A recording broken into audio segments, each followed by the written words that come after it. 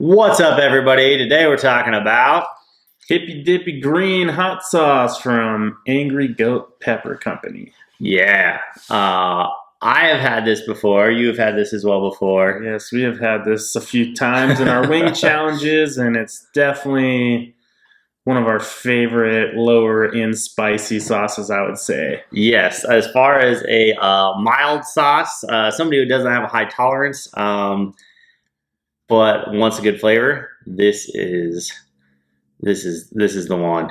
Also, I'd say maybe one of the only sauces I've had with kiwi in it.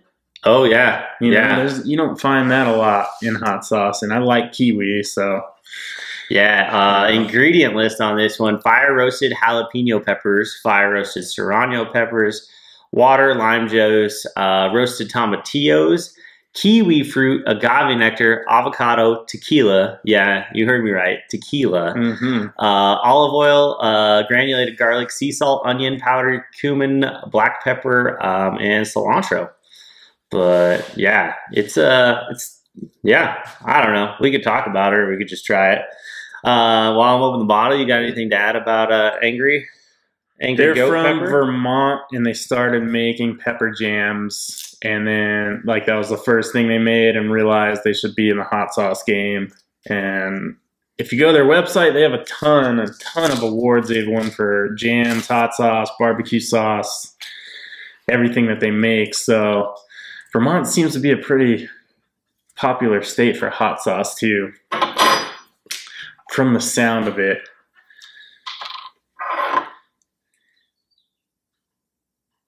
That comes out fast. Yes, sir. I'll take a big spoonful of that. I, I love it so Yeah. much. Cheers. hmm I forgot how good it was because we haven't had it for a while. Yeah. Hmm.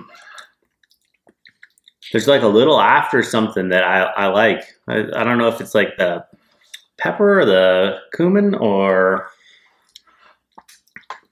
something linger, or maybe it's just the fried fire roasted.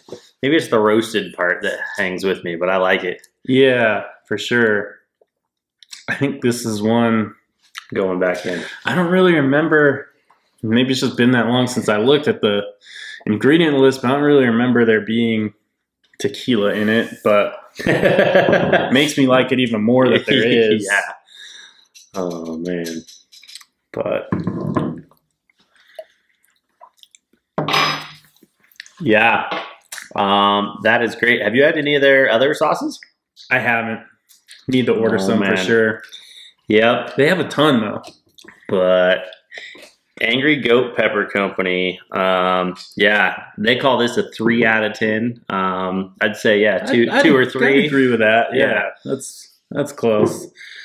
Yeah, But um, yeah, great sauce. Uh, great for people who don't love crazy spicy. Um, but this is one flavor. I, I ate a lot on breakfast when I had a bottle of it before. So this is try it on falafel Oh, and fish falafel. tacos. Fish tacos that could be good. Boom. So yeah. Well, I think that's all we got for this one. Uh, but thanks for checking us out. Yeah, appreciate it, guys. We out.